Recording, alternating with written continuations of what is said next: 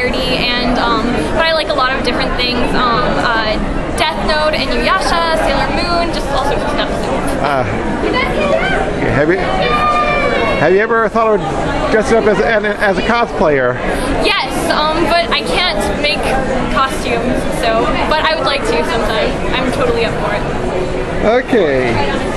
And where did you? Uh, are you here locally, or did you come from out of state, or what? Um, yes, I live here locally. Okay. And do you think you'll be here next year? Yes, definitely. Okay. Well, hope you enjoy your, the rest of 8th Anime Fest 2011. Thank you so much. Okay. Signing off. Okay.